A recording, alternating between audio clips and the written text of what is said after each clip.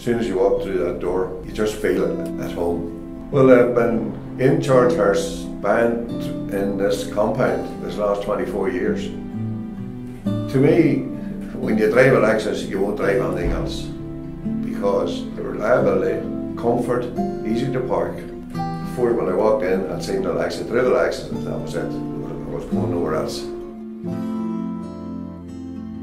It's the SUV, it's just a wee bit of height. Getting in and out of the IS, which was lower, and going to that suits me better.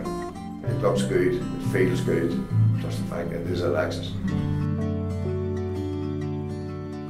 As I say, you walk into the boys here. It's just like walking into the family. The way they treat you. There's no other company would do it.